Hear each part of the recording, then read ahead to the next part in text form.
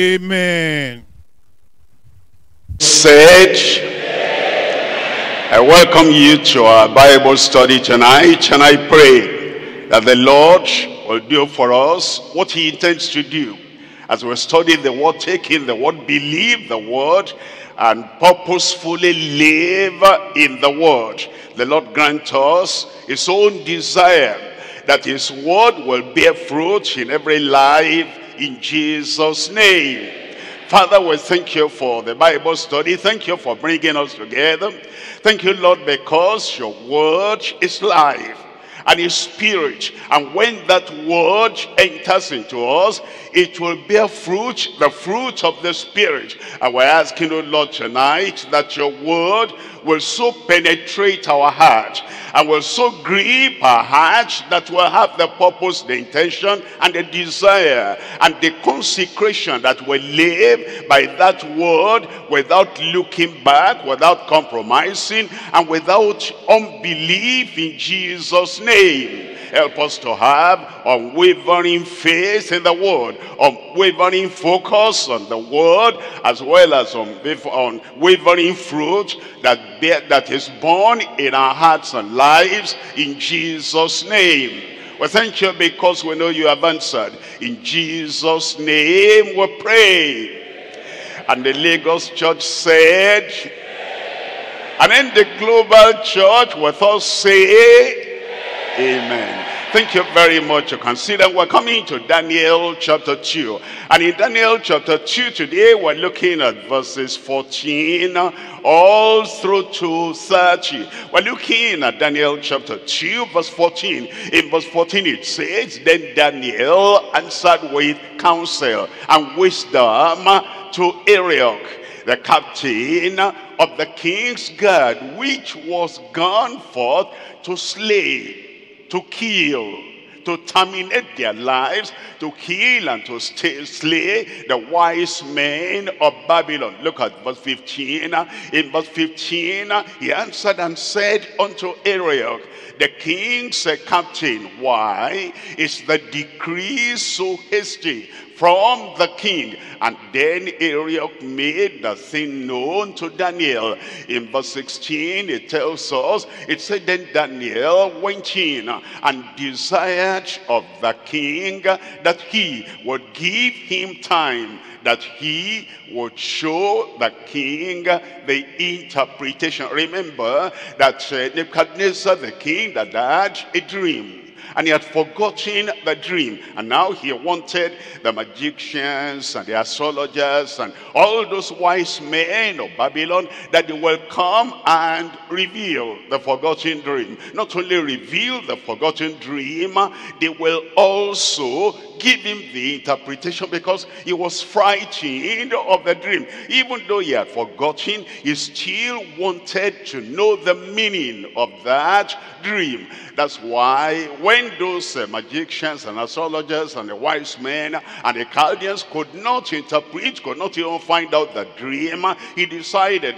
because he was fearful because he was frightened. A frightened man is a furious man is an angry man. And he felt, okay, maybe I'm going to die because of that dream, the revelation, the meaning of that dream. Maybe it means I'm going to die before I die. He wanted to just slay everybody and he sent the executioner out that they will, they will kill all the wise men of Babylon. And it happens to be that Daniel, Shadrach, Meshach, and Abednego were part of the wise men. They are trained. And they didn't know about all this. If they knew, they would have prayed. But then they now came to Daniel and Shadrach, Meshach, and Abednego. They said, it's, it's time for you to go. You are going to die now because there is a decree from the king of Babylon that they will slay everyone.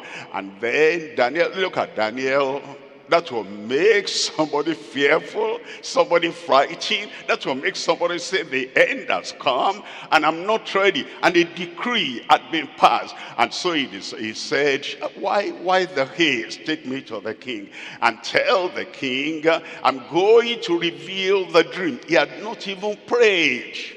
And yet he was so confident he was going to reveal the dream and was going to give the interpretation. And then he came to the king. Look at the man that's about to die by the edict of Babylon. He was peaceful. He was calm. And he spoke to the king in a peaceful manner. That's the evidence that man was saved. If he wasn't saved, number one, he'll be afraid of death. If he wasn't saved and he wasn't sure of the connection he had with the Lord, in such a situation, a peculiar situation, he would have said, what am I going to do? I have that thing unsettled. I have that thing unsettled. Am I going to meet God? Because I know without holiness, no man shall save the Lord. They knew that in the Old Testament. And then, if we die now, where do I spend eternity? No question like that, that man had calmness, that man had peace of mind. It was a personal peace that he had. The peace we have when we come to know the Lord in salvation is not a communal peace. It's not a, a, you know, a peace for the community. It's a personal peace that we have. And uh, Daniel demonstrated that it was a perceived peace. You could tell as uh, Nebuchadnezzar was sitting down there. Okay, Daniel, what have you come to say? I'm very calmly, he said, give me time and I will show the king the interpretation of his dream. It was perceived. The people that saw him could perceive that this man had personal peace. This man had a perceived peace that you could see. This man had a penetrating, persuasive peace. It, it penetrated into the heart of Nebuchadnezzar that this man must be able to discover, see him, confidently and calmly that he's uh, telling me is going to reveal the dream. The question is, if we're truly born again, personal, if we're truly children of God, when situations like that happen that we don't know what we can do and other people don't know what they're going to do, do we still have uh, that personal peace of the Lord? Think about that. A little problem and then we're jolted and we begin to talk in an erratic manner. The peace that comes with salvation is personal is perceived. Other people can see that you are not jilted, you are not, uh, you know, kind of a buzzed here and there, and you are not harassed by your thoughts because the people can see this man, this woman is truly born again.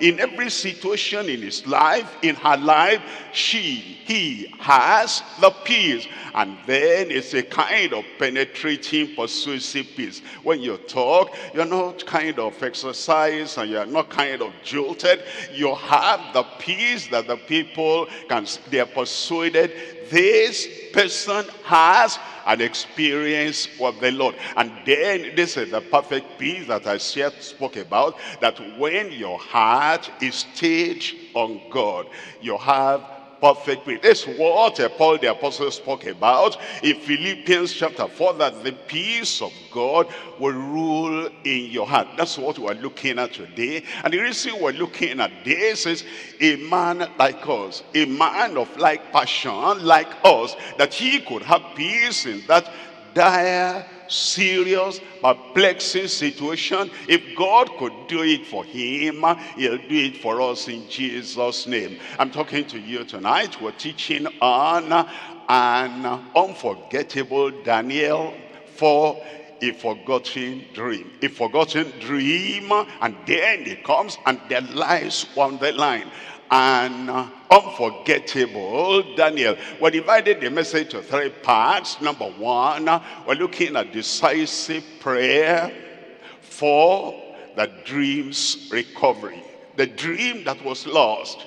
The revelation that was lost. What Nebuchadnezzar had that he himself could not recover. And now we have eh, people, believers, that prayed a decisive prayer for the dream's recovery. Number two is the delightsome praise for divine revelation. As they prayed that same night, They didn't pray for seven days. They didn't pray for 30 days.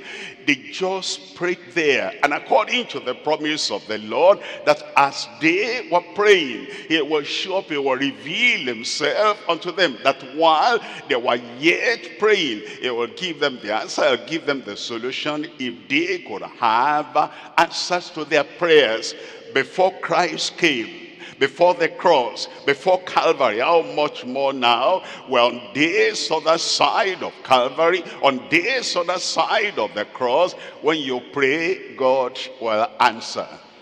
Because of Christ, because of the cross, because of Calvary, because of what he has accomplished for us already, he opened the way to the Father through the veil of his flesh. And if Daniel could have, if Shadrach, Meshach, and Abednego could have immediate answer to what they were looking for, understand, have confidence in the Lord as you pray tonight. I said as you pray tonight. And as you pray for the rest of your life, the Lord will answer in Jesus' name. The lightsome praise for divine revelation. Number three is dynamic presentation without any doubtful reservation. After they got the answer, they now came to Nebuchadnezzar and see them as they came, dynamic and see them as they came, sure, and see them as they came. They were going to present the dream, the forgotten dream. And they so presented it, one will study later, in details that Nebuchadnezzar was convinced, he remembered, he recalled when Daniel spoke to him about the dream, that this is the dream, and will give you the interpretation. And, and that means then they came in, in a dynamic way to present the dream without any doubtful preservation. Daniel did not say, am I right? He knew he was right. Daniel did not say, is that so? That would mean that he wasn't sure, but he was very sure. And I pray in our lives, the way the Lord deals with us, that kind of assurance and that kind of certainty will project from us and people will know that we really know what we say and we really know what the Lord has done and what the Lord is going to do. Look at number one here. Number one is the decisive prayer for the dream's recovery. Uh, we're reading from, uh, from Daniel chapter 2, and we're looking at verse 16. It tells us that Daniel went in and desired of the king that he would give him time and that he would show the king the interpretation. Verse 17. In verse 17 it says, Then Daniel went to his house and made the thing known to Ananiah, Mishael, and Azariah, his companions, his friends. Now, verse 18. In verse 18, that day would desire mercies of the Lord of heaven of the God of heaven. It wasn't by merit, the works of our hand, the character in our life, and the uncompromising life we have lived cannot qualify us to say, God, you must do this for me because I merit it by the life I live. No, it's by the mercy of God. And so they desired mercies of the God of heaven concerning the secret that Daniel and his fellows, the friends, should not perish with the rest of the wise men of Babylon. And then in verse 19, verse 19, then was the secret revealed unto Daniel in a night vision. Then Daniel blessed the God of heaven. Let's look at this under three subtitles. We're looking at number one, calm posture of fearlessness despite the declared decree. Number two, common pursuit with friends with deeper devotion. Number three, confident prayer of faith under a deadly decree. We're looking at number one there. Number one there is the calm posture of fearlessness despite the declared decree. Uh, already we've read Daniel chapter 2 verses 14 to 16. Uh, let's look at the Psalms. We're looking at Psalm 56, reading from verse 4 there. In Psalm 56 verse 4, it says, In God I will praise his word. In God I have put my trust. I will not fear what flesh can do unto me. You see, when you have fear, fear in prayer, you'll be forgetting the promises of God you should quote. When you have fear, fear is searching for something. You'll be having doubtful mind. Will I see, will I see it? Will I not see it? When you have fear and you want to talk to somebody, you will be internally shaking. And because you're internally shaking, you are not able to directly say and convincingly say everything you want to say. You see, when you have fear, you are progressing, you are proposing, you are planning, you want to get something done, uh, that fear will not allow you to stay calm uh, and to stay connected and to talk convincingly and to do what you ought to do that will bring results. But when uh, you stay your mind on God, when you stay your mind on the Lord himself who has saved you, who has sanctified you, and you know there is no, that there is no hindrance and there is no hurt hurdle and there is no barrier between you and God. You can come boldly and then say what you want to say. That's why the psalmist said, in God I will praise his word. In God have I put my trust. I will not fear. That's right. Look at that will. That means to make up your mind. It's something of the will. It is not something I wish. I don't fear. I think I will try not to be afraid. But you have the will. I will not fear. It is that that gives you confidence and boldness in anything you are called to do and in everything you have to do. It tells us in verse 10, verse 10 of that same chapter, it says in God, when I praise his word, in the Lord I will praise his word. And then he tells us in verse 11, it says in God have I put my trust. I will not be afraid what man can do unto me. In verse uh, 12, it says, thy vows are upon me thy vows are upon me. O God, I will render praises unto thee. And then in verse 13, verse 13 says, For thou has delivered my soul from death. Hey, look at Daniel. He knew that the decree to die was there. The decree that they'll slay, kill everybody was there. But he said, ah, ah, that will not happen to me and that will not happen to you. I said that will not happen to you because he said, thou hast already delivered my soul. You have marked my day and you have shown me as I go on that I am going to have a long life and this will not kill me. He's still going to live longer than Nebuchadnezzar himself. is still going to live longer than the son that succeeded him. He's still going to live in the kingdom of Darius. And so he had the confidence, whatever decree they make and whatever plan they are making, he said, thou hast delivered my soul from death wilt not thou deliver my feet from falling, that I may walk before the God in the before God in the light of the living. Then in verse 14, he concludes and he says, in verse 14 uh,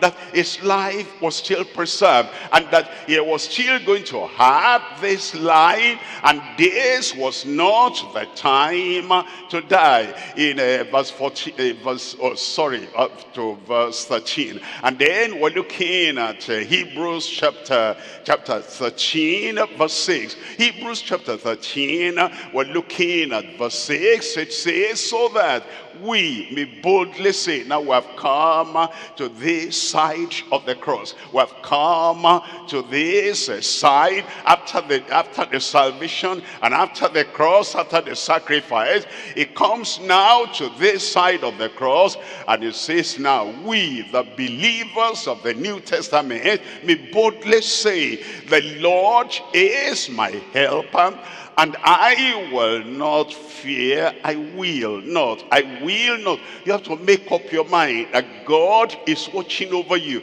You have to make up your mind that God has the final say in your life. You have to make up your mind that the word of God is truth and the plan of the enemy will come to naught in the believer's life in Jesus' name. Why is the amen so low today? And then it says, it says, I will not fear what man, what man, what man shall do unto me. We're coming to the next point there. That's number two now. Number two is the common pursuit with friends, with deeper devotion. Daniel was going to tell Shadrach, Meshach, and Abednego, and they were going to unite together in prayer. And as they united together in prayer, they were of the same faith, of the same conviction, of the same consecration, of the same lifestyle. When you say, I have a prayer partner, if you are up and that prayer partner is down, you come to his level. You come to our level. I have a prayer partner. We're going to pray about this difficulty. You have faith. They have fear. Their fear will put your will pull your faith to their level. I have a prayer partner, and the prayer partner is barely saved, doubtful. We don't know whether it's in the kingdom or out of the kingdom. We don't know whether it's, you know, overcoming sin or not. And if I regard iniquity in my heart, the Lord will not hear me. You want to have prayer partner that have the same mind, the same experience, the same faith, and the same perception of the word of God. And so Daniel now came to Shadrach, Meshach, and Abednego, and they had the same devotion deeper devotion than the ordinary floating superficial believers. And now we come to Daniel chapter 2 and we're reading from verse 17. It said then Daniel went to his house and made the thing known to Ananiah, Mishael, and Azariah, his companions, his friends. Look at this. Uh, we need to be at par with what is going on in the community. These people, even Daniel, they didn't know there was any edict. They didn't know there was any threat of death. We should know. If we don't know about the problem, how do we pray against the problem, against the decree? If we do not know about the challenge, how do we get ourselves ready to face that challenge and to solve the problem? But now he came to make that known unto his companions. Then in verse 18, in verse 18 it says that they would desire the mercies of the God of heaven. And concerning this secret it was a secret to the whole nation a secret to Nebuchadnezzar because he couldn't uh, discover the dream. He couldn't tell the dream. It was a secret to everybody in the whole nation. It's a secret that came from God. And because it came from God, now they will ask God, Lord, you know all secrets and this secret is coming from you and Nebuchadnezzar has forgotten. And because of that he's furious. Because of that he wants to kill everybody. Well, your children, for our sake, reveal the dream so that we will not perish and the people of um, Babylon who were the wise men of Babylon, that they too should not die. And so it says that they would desire mercies of the God of heaven concerning this secret that Daniel and his fellows, his friends, should not perish with the rest of the wise men of Babylon. And now uh, you look at uh, Deuteronomy chapter 32, reading from verse 30. It's talking about when we unite together in prayer. We have the same mind, we have the same heart, we have the same faith, we have the same goal, we have the same passion. And because of that, we unite together to get this answer from the Lord. It says, how would one chase a thousand and two put 10,000 to flight, except their rock had sold them, and the Lord has shut them up. It's talking about the power of united effort, united love, united skill, united purpose, united prayer. That one can put 10, can put a thousand, 10,000, can put a thousand to flight, and two, united together, can put 10,000 to flight. We're looking at the New Testament promise in Matthew chapter 18, reading from verse 18. In uh, Matthew chapter 18, verse 18, Verily I say unto you, whatsoever ye shall bind on earth shall be bound in heaven. Give me a good amen there. Jesus said, even you as a believer alone by yourself, whatsoever you bind on earth, what does that mean? You can bind that decree of Nebuchadnezzar, you can bind that curse, you can bind that personality behind premature death, and Nebuchadnezzar said, all of you will die, and then you can say no to that. If you want to say no to that, how do you say no?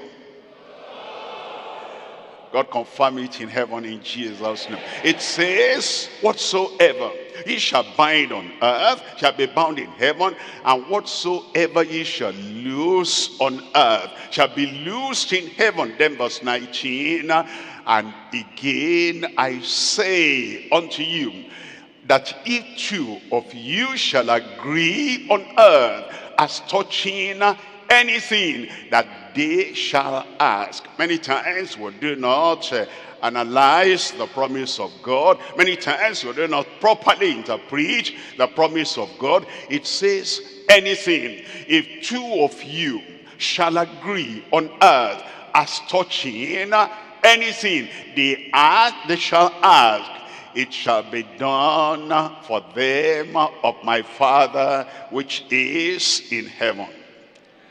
Amen. It will be done. I said it will be done. Even when the fire is burning outside and the rain is pouring down, stormy rain outside, if you calmly, like Daniel, Shadrach, Meshach, and Abednego, stay in there and you join your faith together and you say, that thing should stop, what will happen? It will stop. The Lord answer our prayers in Jesus' name. Look at number three now. Number three, confident prayer of faith under a deadly decree. The confident prayer they prayed. They are not saying, oh God, if it's your will, it's his will that those people will not perish is not interested in the death even of the wicked. It's his will. It, it, this is your will that will perish not. Of course, you're not going to perish. You're not going to perish under the anger and the fury and the frustration of Nebuchadnezzar. If you're going to die, it will be God's time. For God's purpose. When your mansion is ready, and then you say, bye-bye, I'm going to a better accommodation. Somebody help me shout amen.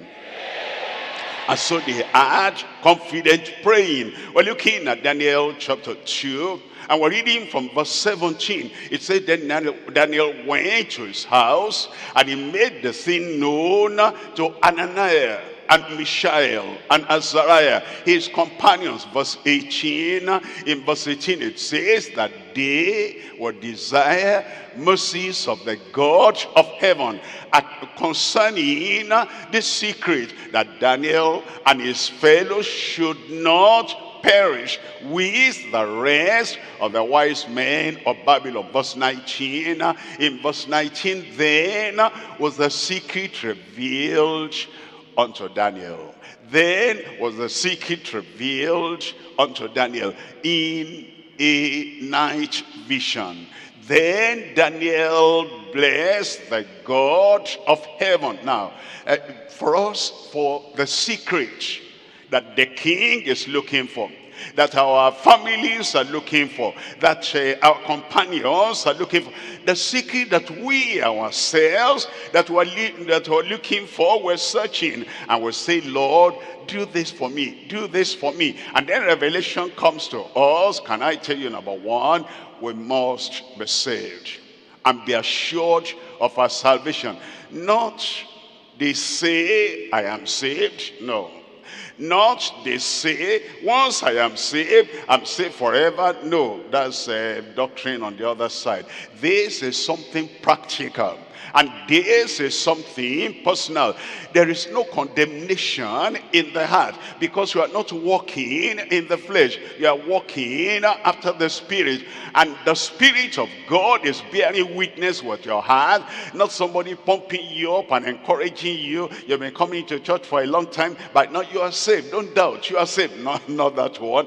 This is the Spirit of God bearing witness in your heart that the grace of God has come to you. And that grace that appeared to you brought salvation. And it teaches you to deny all ungodliness and worldly laws. And is helping you. The grace of God helping you to live soberly, righteously, and godly in this present world. Then with that confidence, you can come to the Lord and say, Lord, I'm your child. I know it by the life I live. I know it by the faith I have. I know it by the witness of the Spirit of God in me. I know it by the victory over sin that you give me. And now you go to the Lord with confidence and you pray and the Lord will answer.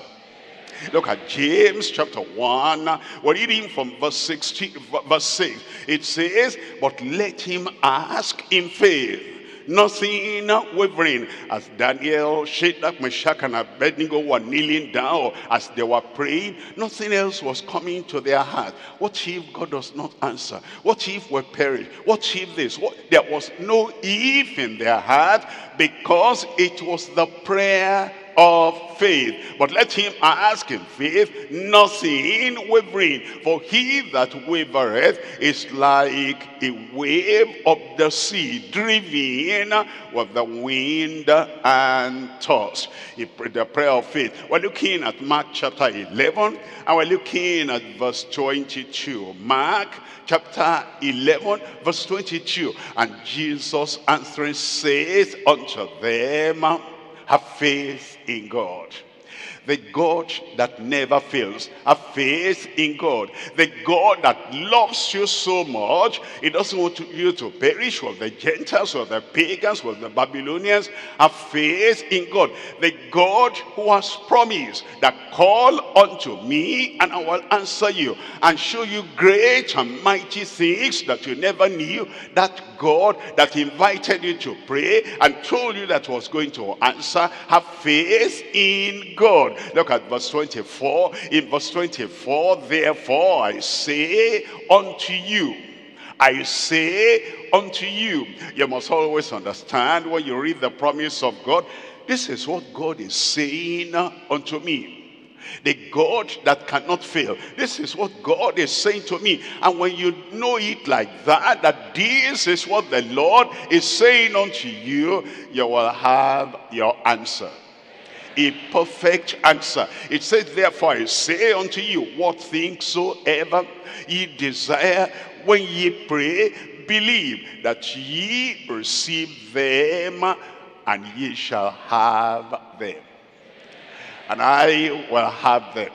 And the church will have them the Lord will answer our prayer. Isaiah chapter 65, and I'm reading from verse 24. Isaiah chapter 65, reading from verse 24, and it shall come to pass in your own day. It shall come to pass at your own time.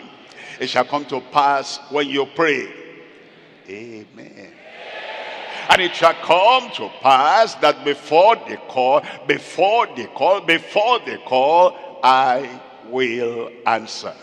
He knows what's in our heart. He knows our desire. He knows our petition. Even before we open our mouth, he said, I'm ready. Go on talking. I'm going to answer your prayer. And while they are yet speaking, I will hear. While they are yet speaking, he will hear. Now we come to point uh, number two. In point number two is the delightsome praise for divine revelation. Delight some praise for divine revelation. We're looking at Daniel chapter 2 and I'm reading from verse 20 here. In Daniel chapter 2 verse 20, Daniel answered and said, Blessed be the name of God forever and ever. For wisdom and might are his. He didn't rush out because, you know, uh, some people then he haste in a hurry. We've been looking, nobody has got this answer. And then we pray to the Lord and the Lord gave us uh, this answer.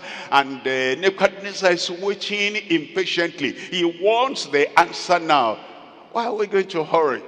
No other person has this secret. And this is what the Lord has specially revealed with divine favor. And so we'll not rush out. We'll give glory to God. We'll praise the name of the Lord. Will shout his praise because of what he has done. And it says, and Daniel uh, answered and said, Blessed be the name of God forever and ever. For wisdom and might are his. Verse 21. In verse 21 and he changes times and see and the seasons he removeth kings and setteth up kings he giveth wisdom unto the wise and knowledge to them that no understanding verse 22 in verse 22 he revealeth the deep and secret things he knoweth what is in the darkness and uh, he and the light dwelleth with in verse 23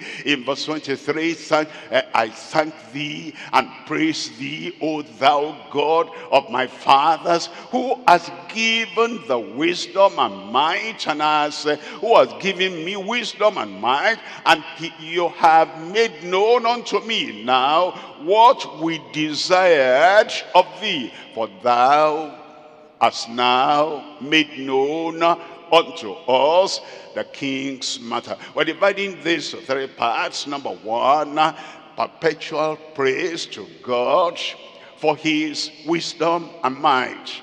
Number two, present praise to God for his will and uh, over mankind. And number three, personal praise to God for his gift and wisdom, a, gift of wisdom and might. Number one is the perpetual, per, perpetual praise to God. That every time, every time, perpetually, we're praising God for his wisdom and for his might. In uh, Daniel chapter 2 again, verse 20, it said, Daniel answered and said, Blessed be the name of God forever and ever from generation to generation. That's why it's perpetual.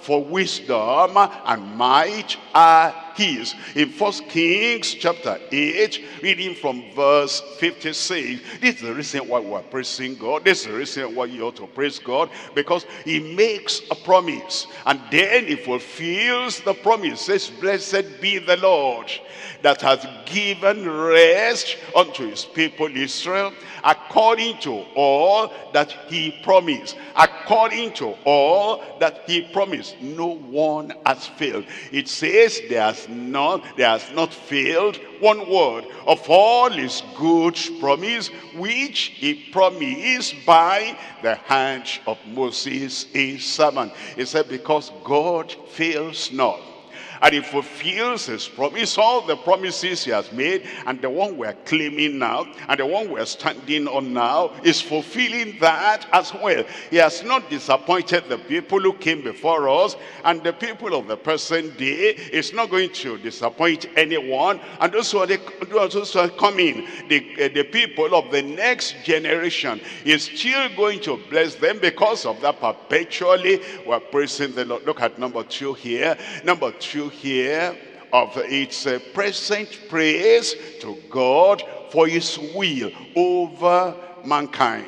His will over mankind. It tells us in daniel chapter 2 reading from verse 21 and he changes the times and the seasons and he removeth kings and setteth up kings. That is, all the kings who are reigning, all the kings who are ruling, those who ruled in the past, even Nebuchadnezzar, he placed him there. Even Belshazzar, he placed him. Even Darius, he placed him. Even Cyrus, he placed him there God says is the one in charge and is in control over mankind. So that's why the children of God are not perplexed and they are not, their hearts are not palpitating and their lives are not up and down and they are not bothered about this is going to happen. Who will be there? Who will be there?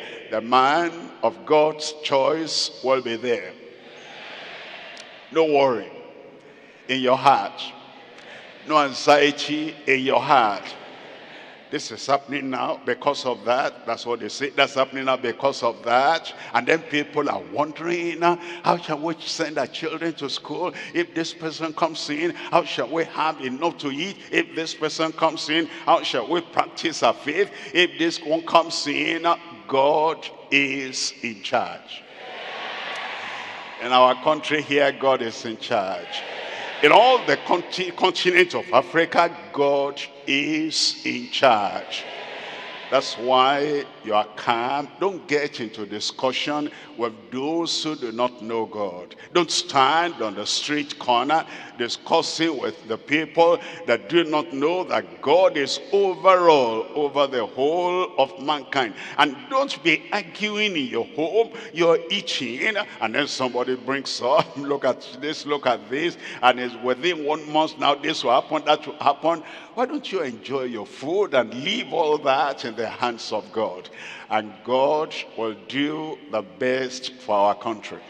Because it says he changes the times and the seasons. He removeth kings, he does, and setteth up kings, he does, to give, he giveth wisdom unto the wise and knowledge to them that know understanding. Look at Jeremiah. We're looking at uh, Jeremiah chapter 27 and we're looking at verse 5. Jeremiah chapter 27, reading from verse 5, I have made the earth, the man and the beast that are upon the ground by my great power and by my outstretched arm and I have given each to whom it seemed meet unto me.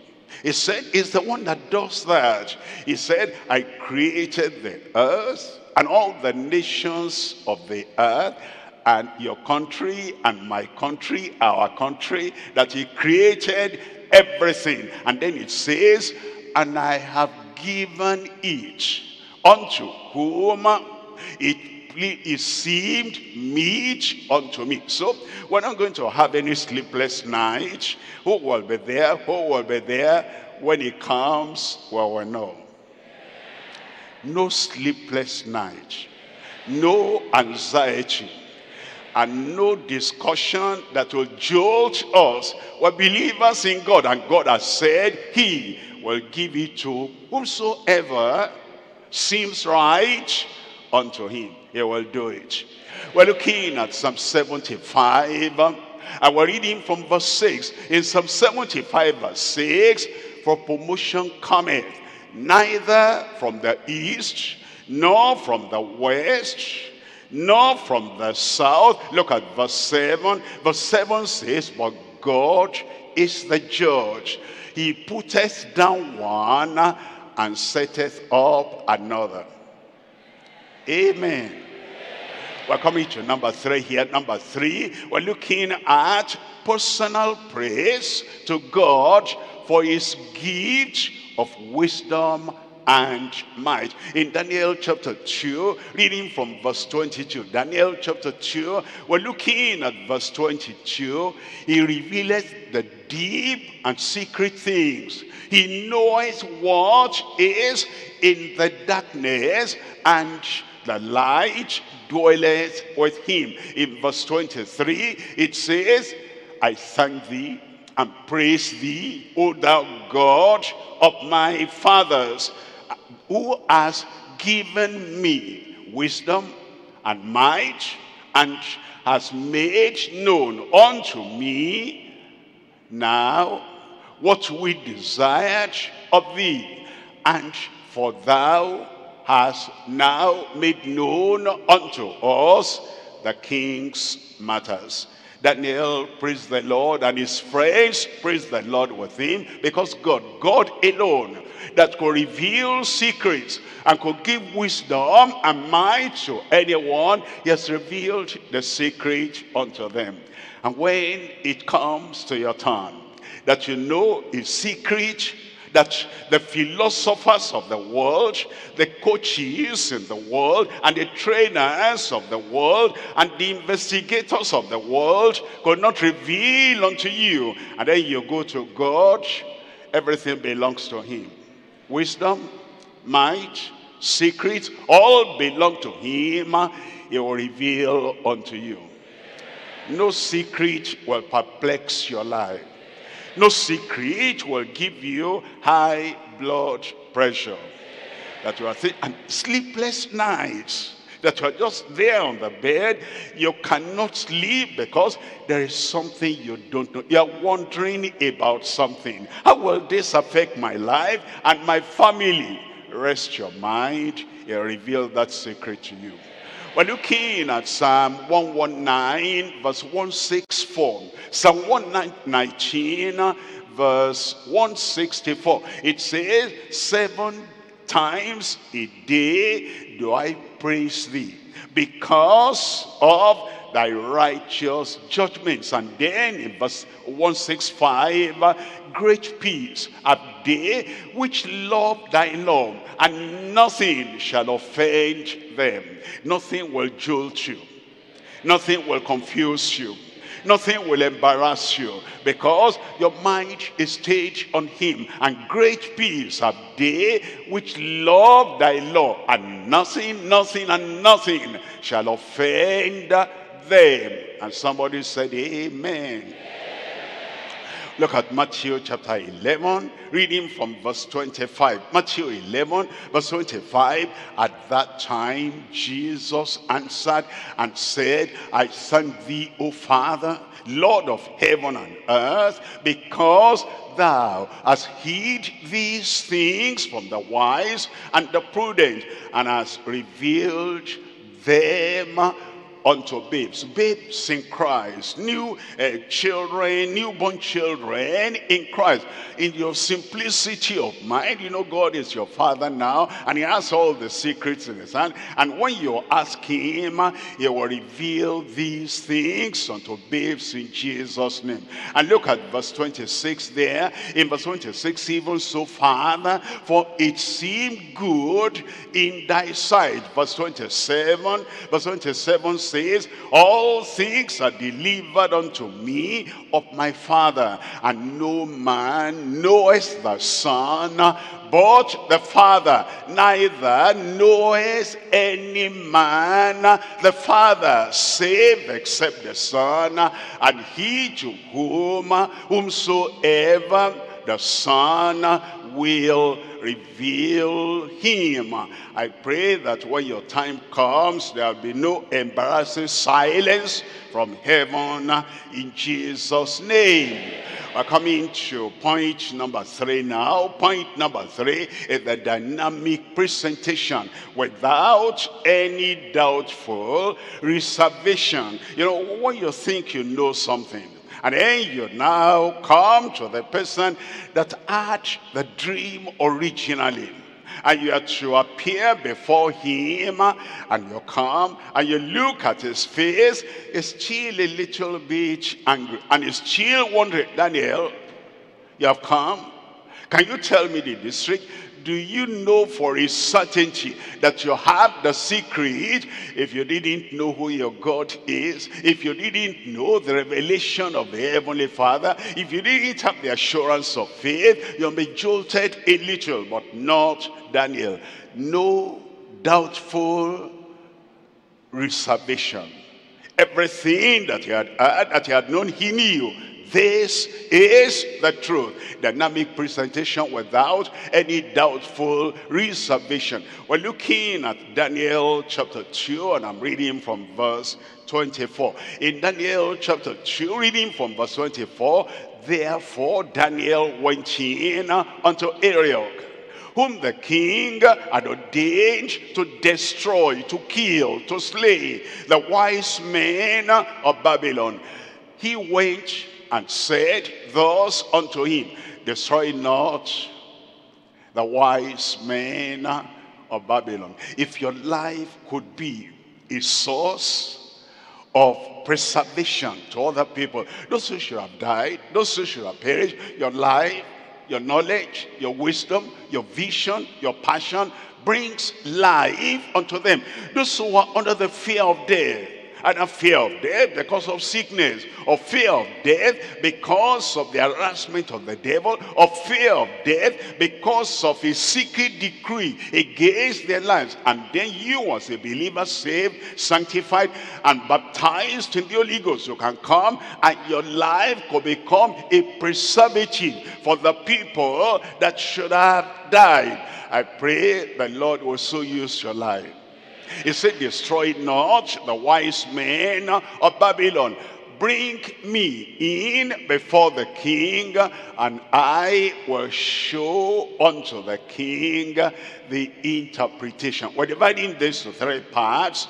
Number one, number one is the fearless Daniel before the frightened warrior king. Number two is the faithful declaration of future worsening kingdoms. Number three, the firm decree of the foremost wise king, the king of heaven. We're looking at number one.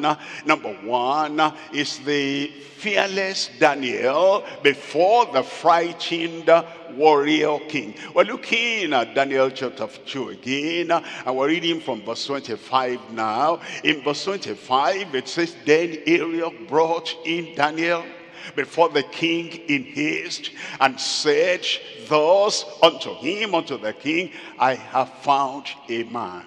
I have found a man. I have found a man.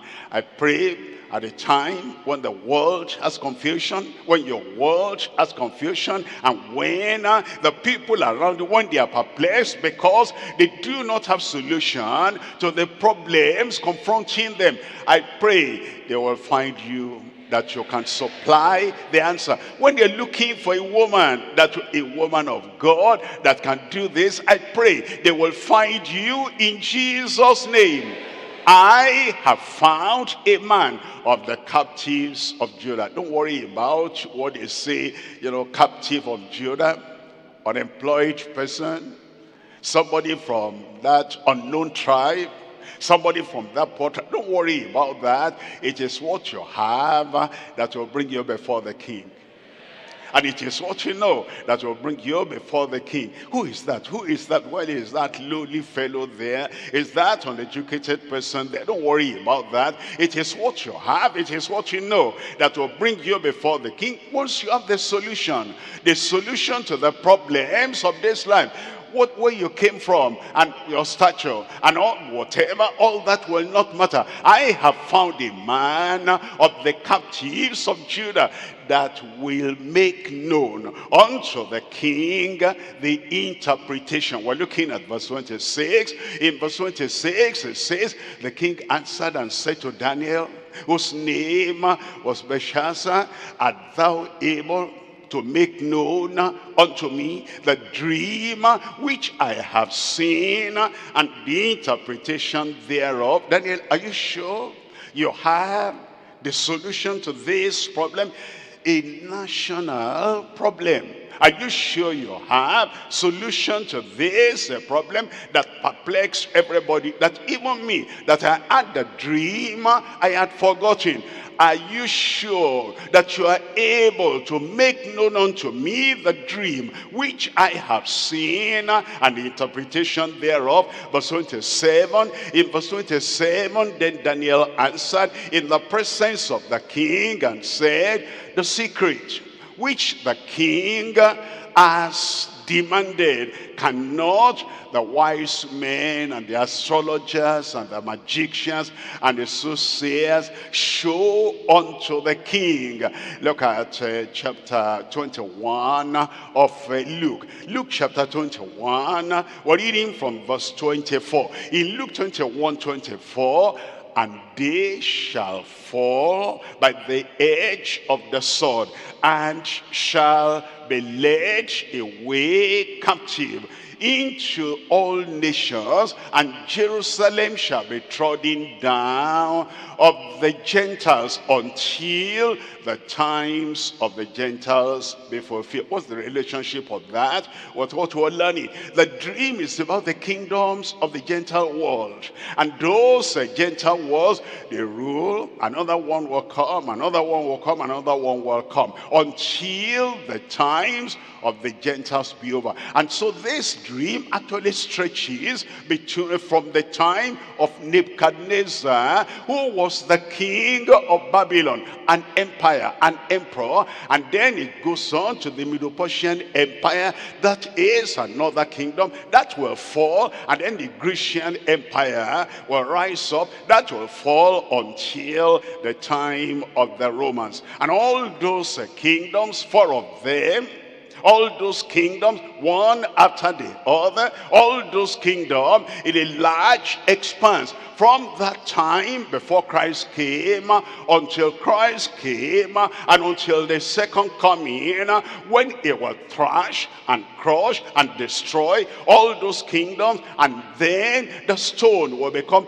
a mighty mountain all over the world and Jesus will be the King of kings and the King and the Lord of lords and the King of the whole universe. That's the dream and that's how it spanned such a large period until the times of the Gentiles be fulfilled. Look at verse 26. In verse 26, men's hearts failing them for fear and for looking after those things which are coming on the earth. For the powers of heaven shall be shaken. And yet, Daniel came in uh, without any fear, without any timidity and without any fright at all and without any doubt what if i miss it? Look at acts chapter 18 uh, and i'm reading from verse 9 acts chapter 18 verse 9 uh, then speak the lord to paul in the night by a vision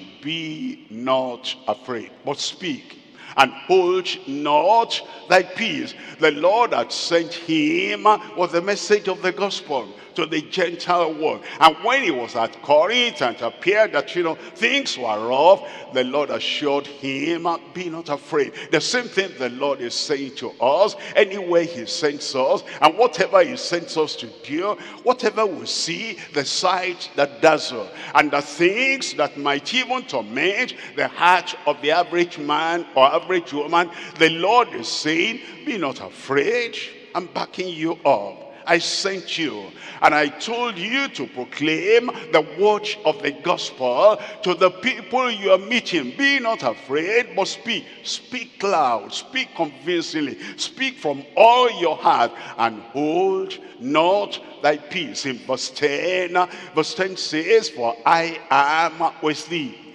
No man shall search on thee to hurt thee. Amen. When you know that, you'll go to your office confidently. When you know that, you live in your community confidently. When you know that, you will preach the gospel without fear and without fright, anytime, anywhere, because it says, I have much people in this city. Then in verse 11, in verse 11, and he continued there a year and six months, teaching the word of God among them. We're looking at number two here. Number two here is a faithful declaration on future worsening kingdoms. Now he's going to tell the dream, and the dream is going to tell about the kingdoms of the earth, from one to the other, from the other to the next one, from the next one to the final one, before Christ will come. And this is about the kingdoms of the world that will be going from bad to worse, and worse to worse, and worse to the worst. It tells us in Daniel chapter 2, reading from verse 28, Daniel Daniel chapter 2, we're reading from verse 28, but there is a God in heaven that revealeth secrets. Do not be afraid or ashamed to declare that a God exists anywhere you are. And, you know, because I'm not ashamed of the gospel of Christ. Because it is the power of God unto salvation to everyone that believeth, whether they're Jews or Gentiles. Do not be ashamed. And here uh, Daniel was not ashamed. He said, but there is a God in heaven that revealeth secrets and maketh known to the king Nebuchadnezzar what shall be in the latter days. The dream was not just for the days, for the time, for the period when Nebuchadnezzar was alive.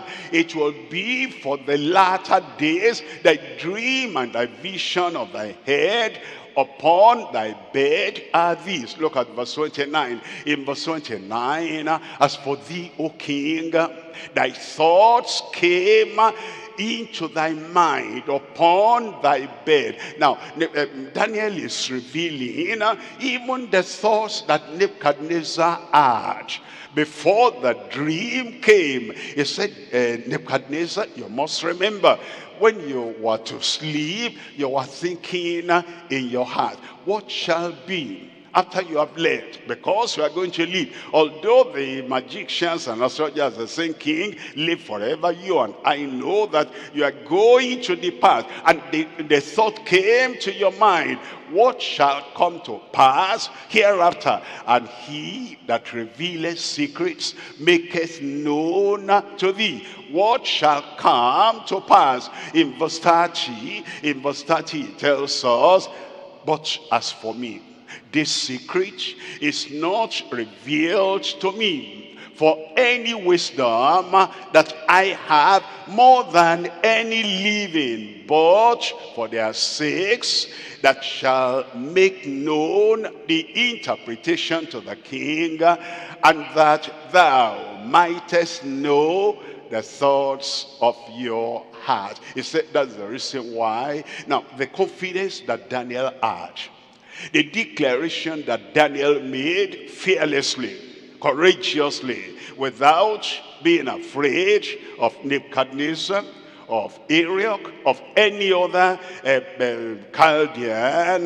That's the kind of courage he wants us to have. That's the kind of mind he wants us to have when he sends us to declare what will come upon people now and also in the future. Jeremiah chapter 1, I'm reading from verse 7. Jeremiah chapter 1, reading from verse 7.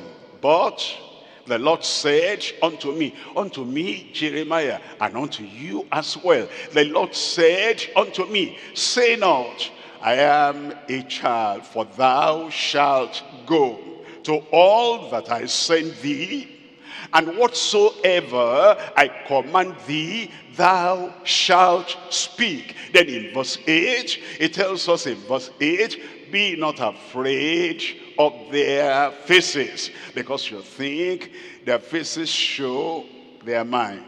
Their faces reflect the thoughts they have. Their faces will show you what they are planning, what they are thinking, and if they are going to hurt you or harm you, you'll see it on their faces, except they train themselves not to show it on their face. And so, uh, uh, Jeremiah, don't be afraid, do not be afraid of their faces, for I am with thee to deliver thee, says the Lord. In verse 9, it says, Then the Lord put forth his hand and touched my mouth, and the Lord said unto me, Behold, I have put my words in thy mouth. And then in verse 10, it says, See, I have this day set thee over the nations and over the kingdoms and to root out and to pull down and to destroy and to throw down and to build and to plant. He doesn't want us to be, you know, shivering and shaking and timid and fearful and frightened before the people he sends us to. God loves them. And he sends us a message of love that will save their soul, that will deliver them from eternal death, that they will not perish. And if you carry such a wonderful message, a life-saving message, a soul-saving message, and you love the people you are speaking to, then you, and God has assured you that he is sending you. He put his word in your mouth. You'll not be afraid in Jesus' name. I will not be afraid in Jesus' name.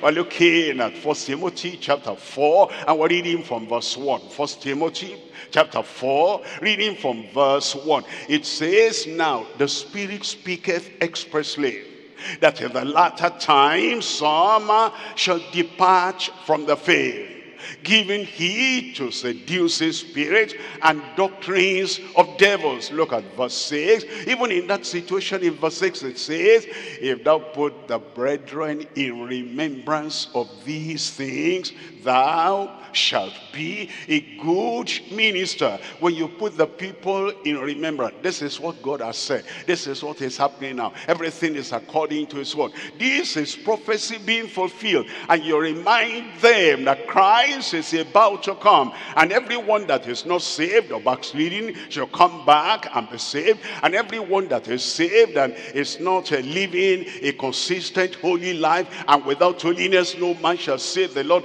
You encourage them and you pray with them and you counsel them that whatever challenges in their lives, not making them to show that consistent life of Christian faith and salvation, you root that out of their lives and you lead them to real repentance and restoration and you lead them to that sanctification that without holiness no man shall save the Lord. And then you let them seek the power of God that will strengthen them, embolden them them, encourage them, empower them.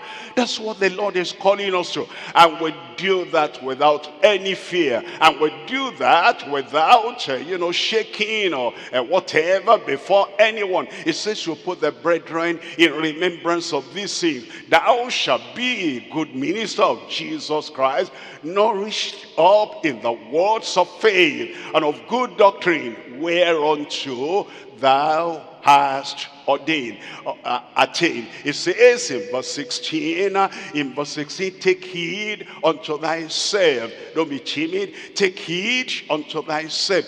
Live courageously, live with conviction, and live without compromise. Take heed unto thyself and unto the doctrine. Continue in them, for in doing this, thou shalt both save thyself and them that hear thee. Amen.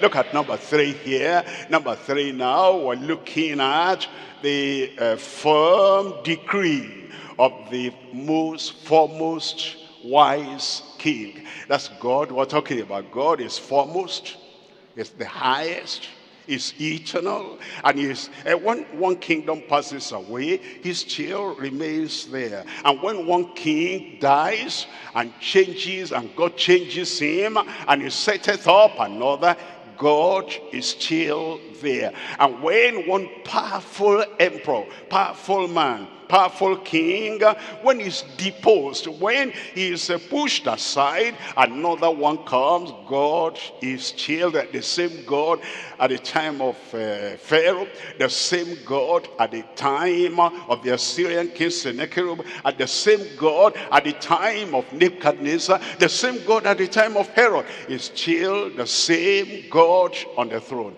They come, they go. They come, they perish. They come, they're dethroned. They come, they're driven away, but God remains the same. He is the foremost wise God, and he has his own decree too.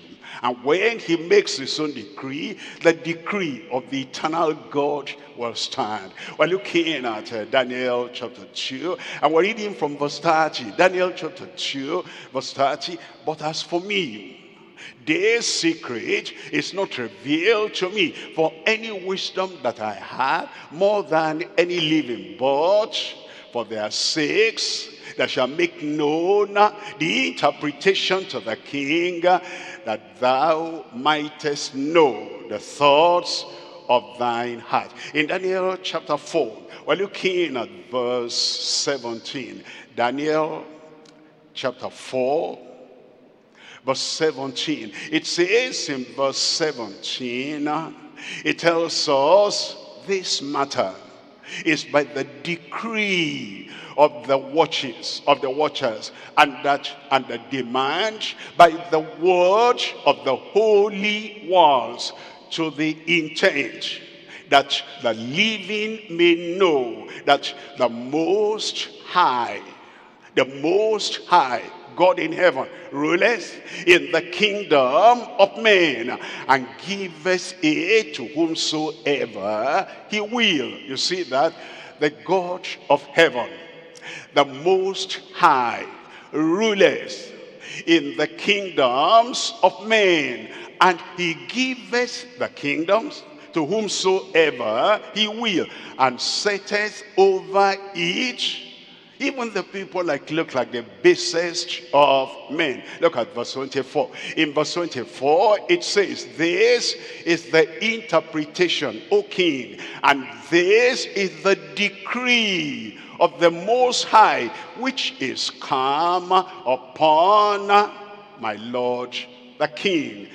God is the one that rules. And whoever he puts there, He's still in charge and he has a decree that supersedes that goes beyond the decree of any man. In Proverbs chapter 8, reading from verse 29. Proverbs chapter 8, and we're reading from verse 29. When he gave to the sea, here is Christ talking, and he said, when the Father the Almighty, the Ancient of Days, when he gave to the sea his decree that the waters should not pass his commandment when he appointed the foundations of the earth. Then in verse 30 it says, Then I was by him. And then it says, as one brought up with him, and I was daily his delight, rejoicing always before him. Psalm 2, we're looking at verse 6. In Psalm 2, looking at verse 6, it says, Yet I have set my king upon my holy hill of Zion. That's the Almighty saying. He has the final say.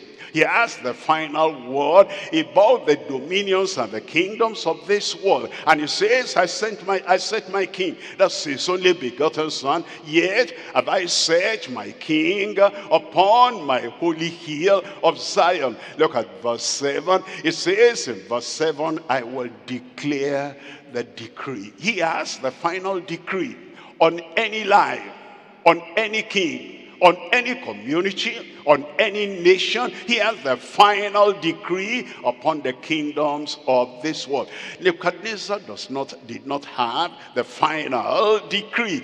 There is another decree, the decree of the Almighty God that supersedes every other decree on earth. I will declare the decree, the Lord have said unto me, thou art my son, this day have I begotten not thee. And then in verse 8, in verse 8 it says, ask of me, and I shall give thee the heathen, the Gentiles for thine inheritance, and the uttermost parts of the earth for thy possession. Then in verse 9, uh, in verse 9 he said, Thou shalt break them with a rod of iron, because all judgment have been given to the hand of the Son of God, and shall dash them in pieces like a potter's vessel. And then in verse 10, uh, he said, Be wise now, therefore, O ye kings, be wise now, O ye emperors.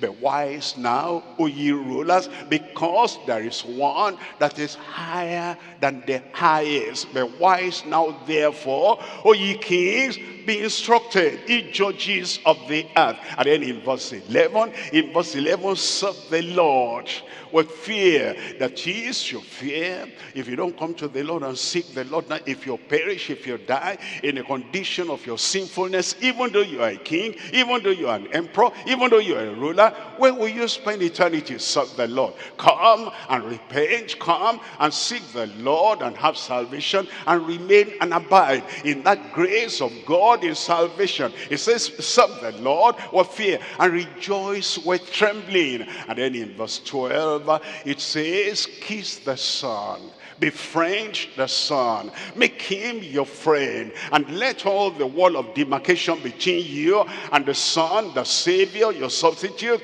and the redeemer. Let everything the wall of demarcation be broken down and befriend him. Let him say you are my friend because i have called you i've chosen you and i've washed your sin and i've made you a new creature now in christ. Kiss the son. Lest he be angry and ye perish from the way when his wrath is kindled, but in little.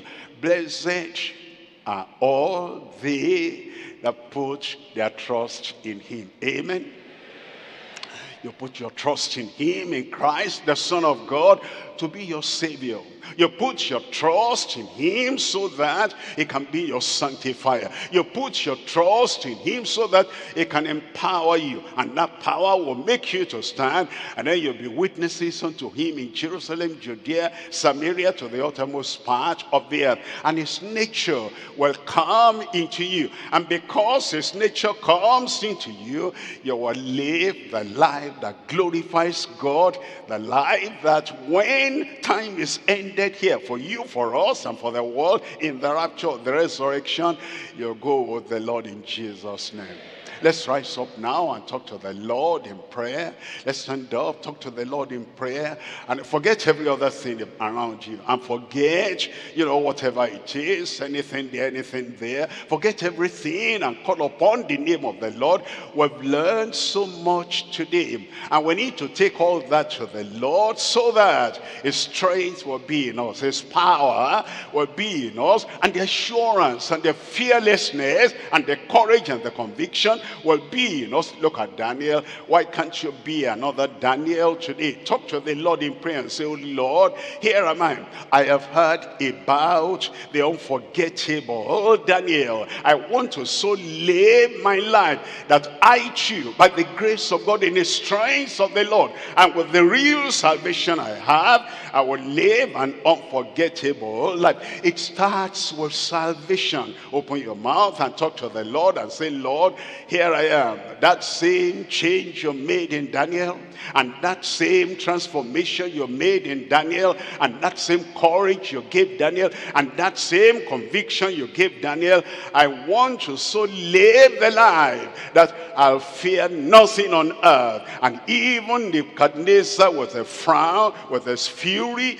and uh, with his uh, fire, and fiery nature, Lord, give me the heart that will live for you unforgettable, unforgettable. Anywhere that I find myself in my community, I'll so have the truth penetrating my life, saturating my life, and keeping me to stand firm on the truth. Tell the Lord, tell the Lord, and tell him, oh Lord, here am I. Pray a decisive prayer a decisive prayer between you and the Lord, telling the Lord, oh Lord, I want to have that kind of life that is firm, fearless, focused, living for your glory, telling him, and he will do it in your life. That your life to your neighbors, your life to your community, your life, anywhere, everywhere will be unforgettable. They'll know you're a child of God. They'll know you have the grace of God in you. They'll know that that grace of God in you teaches you to deny ungodliness and to deny all worldly lusts and then to live a righteous life, a godly life, a sober life. Tell the Lord, let the light of the gospel so shine in your life that everyone around you, beholding you, will know you are being of the Lord Jesus, that you're a new creature in Christ, that old things are passed away, and that all things are become new. And if you have friends, prayer partners, let them be people of this like precious faith. Let them be people who are not pretenders, who are not hypocrites. Let them be people who love the Lord like you love the Lord, who are committed to the Lord like you are committed to the Lord, who are consecrated to the Lord completely with all their heart, all their soul, and all their mind. Let them be people who have the same understanding and the same deep commitment as you have unto the Lord. That's how Daniel surrounded himself with people of like precious faith. Who are your friends? Are they people that easily give up? They can't endure a little persecution. They can't endure a little trial. They can't endure a passing decree. And they are shaking. And they, can't, they don't have the same faith you have in the promises of God. Are those your friends? Why don't you say, Lord, help me. Give me friends that have the same like precious faith. Friends that will stand where we ought to stand on the promises of God. Friends that have more of heaven than the earth in their lives. Tell the Lord, tell the Lord that you'll be able to have a common faith when you make petition before the Lord and then you pray with confidence. Any challenge, two of you shall agree together with confidence. Any problem, common problem you're trying to solve, and you pray with confidence. Confidence in the Lord that I know, I know, I know that God will answer. And you have common confidence the same confidence in the promises of God that while they are yet speaking, I will answer. And before they finish uh, making their petition, I'll give them the solution. And you have that confidence yourself. And then you surround yourself with the people that have the same, the same confidence. Not people that have a different doctrine, a different interpretation, a different lifestyle, a backsliding lifestyle, a compromising lifestyle. No. The people that hold on to this word And they say, come what may. Here is where I stand. And I stand with you.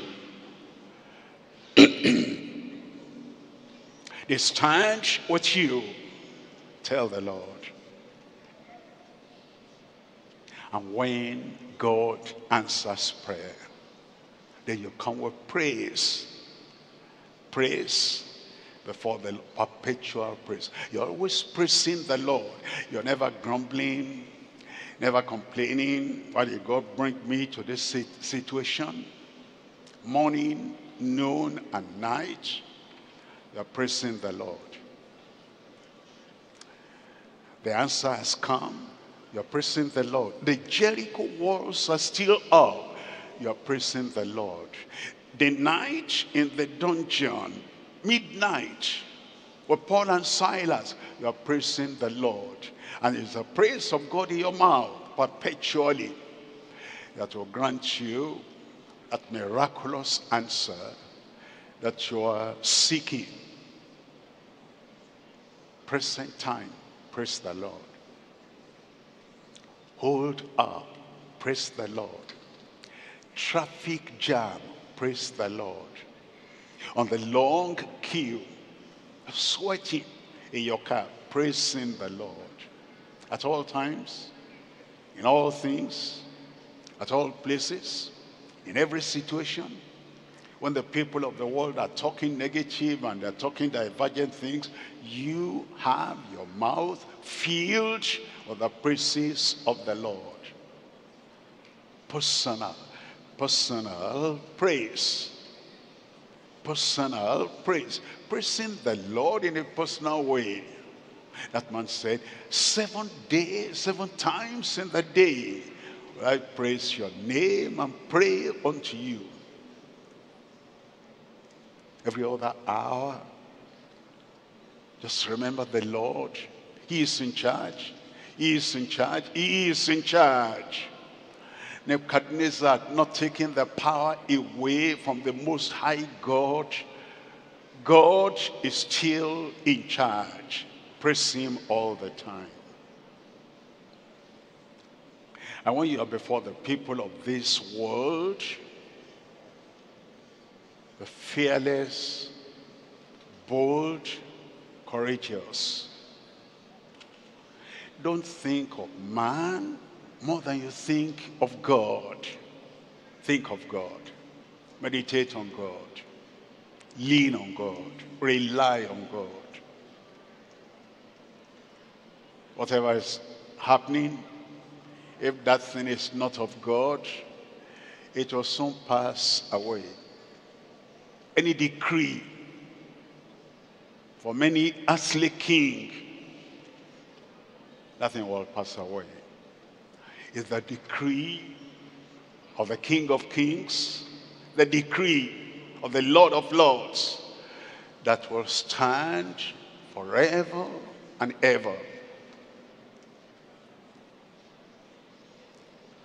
Don't be afraid of any situation caused by man, planned by man, effected by man. He is man. She's just a woman. The king of heaven that has the final decree. And that final decree says you will live. That final decree says no man shall lay any hand on you to hurt you. The final decree, the decree of God says, he'll give you a long life until you finish the calling he has given you. The decree of the foremost wise king. Is wise. He knows what you need. He knows the direction of your life. He knows the calling upon your life. And has made a decree for the son, his only begotten son, and for you, son of God, daughter of God. He'll do good in your life. Think of that. Meditate on that.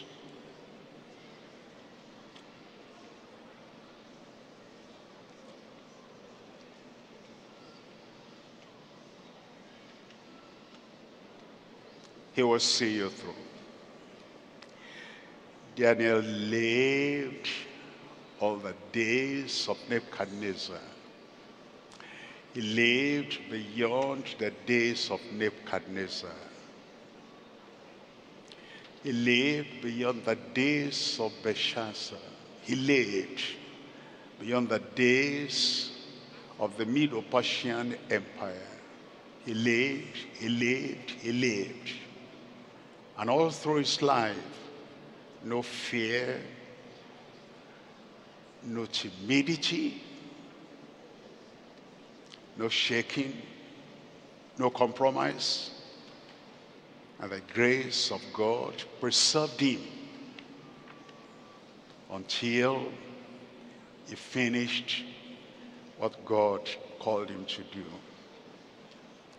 He's gone. You're here the Lord will see you through. Amen. In Jesus' name we pray. Can I tell you that the Lord has answered your prayer?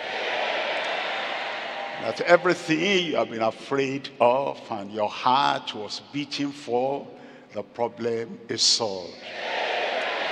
The secret that perplexed you as you go back home, the Lord himself will reveal that secret. Your life will be lived straightforward, courageously, lovingly, confidently. You are not rude to anybody, and you are not cruel to anybody, and nobody will be rude or cruel to you in Jesus' name. Raise up your hand, please. Father, in Jesus' name. We thank you for what you did for Daniel in particular, for Shadrach, Meshach, and Abednego, and for that team.